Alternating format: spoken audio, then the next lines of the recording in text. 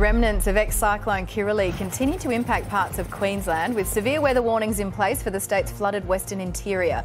In the southeast, the clean-up from flash flooding has begun, but in hard-hit areas like Bray Park, there's anger over claims the council hadn't properly maintained drains.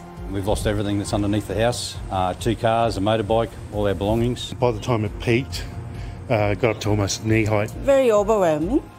Yeah, it's hard. And flood horror stories are emerging from Laidley, west of Brisbane. Michelle McKenzie and her 16 year old son Broden were also faced with a reptile threat oh. while trying to rescue their chickens. Where is it? Right there. Stay where you are. No, you cannot. I am recording it for you so you can see it, but you do not come downstairs. If it is in the water, it is probably not the only one in the water. wow. No thanks. Michelle and Broden had been evacuated. They're now back home, safe and sound and slithery free, at least for now. Guys, what a living nightmare. When did you realise you had company? Uh, well, I was uh, heading towards the chicken coop when I realised the big brown snake in the video was swimming towards me. Um, I was just a little bit concerned then that I was thigh deep in flood water with snakes. Um, so I give my hands a bit of a ripple and cause some kind of waves to happen on the water so he didn't think I was the tallest thing around to climb. Broden, how close were you to getting bitten? Uh, well, when we went over to the chicken coop, the snakes were going into the door, and we went around to the back to get them from the back. By the time we got there, the snakes were on the roost, and we didn't realise yet. Uh, I got two of the chickens before the little brown snake started to launch at my hand. How many snakes did you count there? Well, uh, there was at least 16 that we had seen.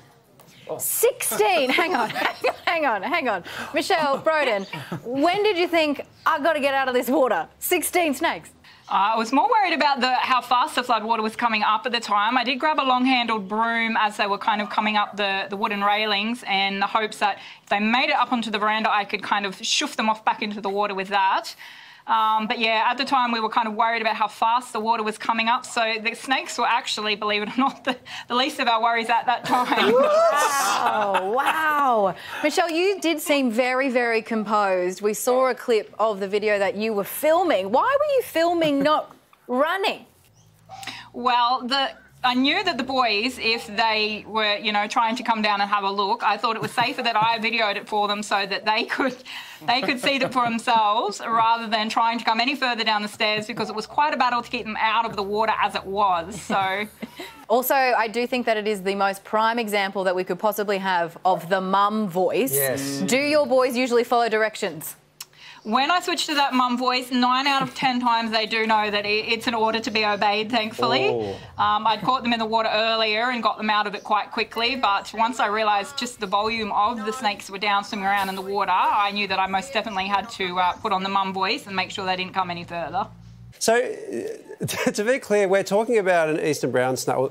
16 eastern brown snakes here. These are Australia's deadliest snake. Yeah. So after the event, even now, like, are you sleeping with one eye open? Most definitely, yes. There are still quite a few places under the house that they could seek refuge in. So I'm kind of walking around with ice in the bottom of my feet. The boys have been banned from under the house for now. Hopefully, they don't go trying to snake catch. And I'm hoping that when the water receded, the snakes decided to go along with it. And hopefully, we don't have any more. Um, snakes on a plane was a smash hit Hollywood film. um, have any movie movie execs been in contact to do snakes on a chicken coop? No, I don't think that would get quite the ratings in the box office. No. Um, I'm not sure the chickens would be um, keen to go on board with that either. You could you could do the trailer in the mum voice, Michelle. It'd, it'd go I could. Maybe, maybe I could convince There's- people to watch it with the mum voice. Yeah. I think yes, a thousand percent. They're just not interested yet. That's it. Michelle, Broden, we are so glad you're still with us. Thank you very much for speaking to us. Thank you very much.